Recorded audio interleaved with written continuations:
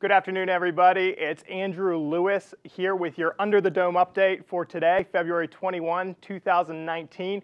We just wrapped up another legislative week here at the Capitol, and as your state representative from the 105th District, I wanted to give you an update on kind of what's going on because this is your Capitol. What happens here is absolutely your business, and I want to keep you updated as I work hard here to increase government transparency, reform government so that it works for all of us, and to transform Pennsylvania into being a top state in the country for jobs and opportunities.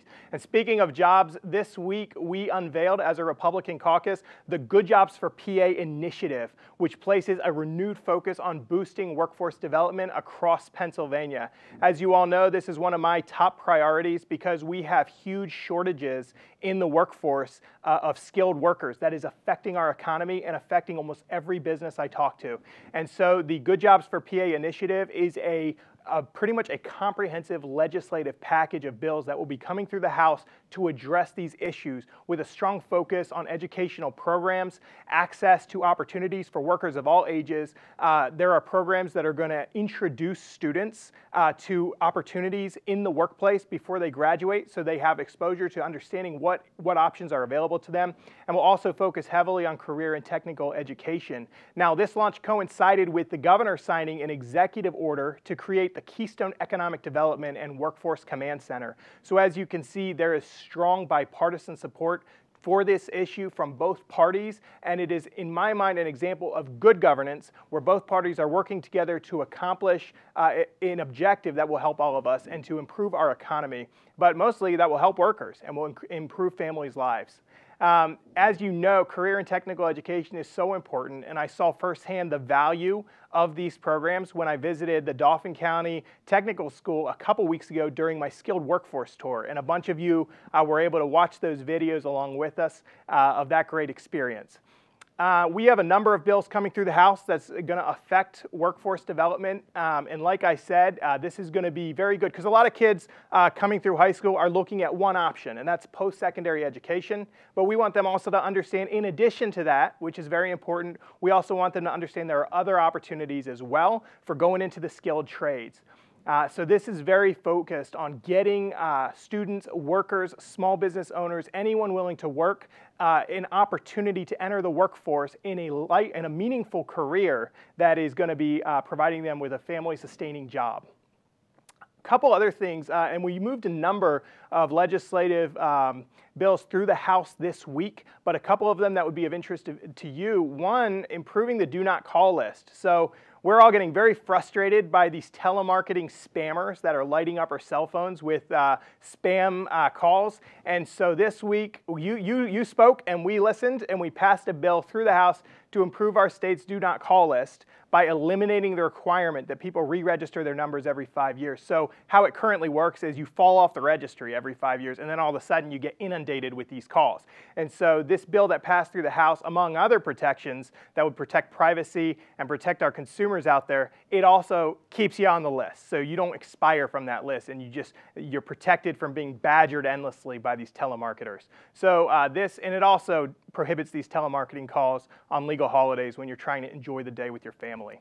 So this is a good bill. It did pass the House. It now moves to the Senate for their consideration, and then it would have to be signed into law by the governor.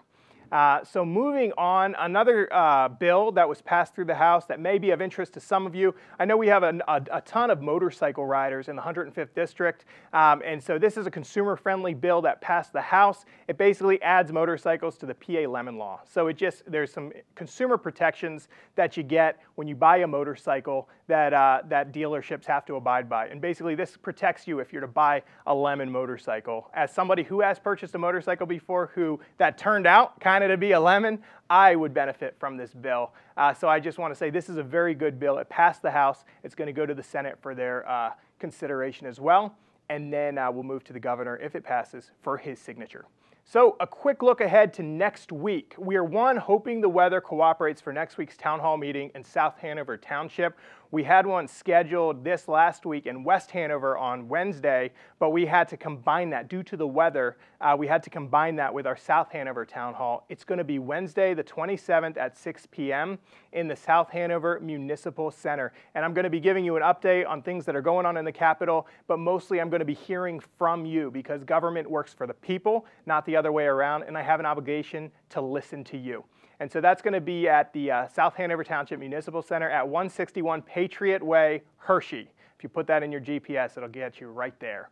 At the Capitol next week, the House Appropriations Committee will resume its hearings examining Governor Tom Wolf's 2019-2020 state budget proposal. Um, so among the agencies set to appear before the committee next week are state police, transportation, corrections, health, human services, and community and economic development. Uh, th these are funds that belong to you. They belong to the taxpayer and they're being spent. And so I would encourage you to watch these hearings if you have the time uh, and be engaged. It's at pahousegop.com. And if you have any feedback on what you're hearing that you want to bring to my attention so I can bring it to the Appropriations Committee Chair's attention, please let me know. Uh, replewis.com is my email address. You can reach me, uh, and I read every email, and my staff and I do our best to respond very quickly. And you can also follow me on Facebook at Rep Lewis there on Facebook. So I encourage you to get involved, get engaged, let me know what you're thinking so I can successfully and effectively carry your voice here to Harrisburg. And so that is the latest Under the Dome update. I appreciate your attention. Reach out if you have any questions, comment here on Facebook, and we'll do our best to get back to you. Thanks so much, and have a good weekend.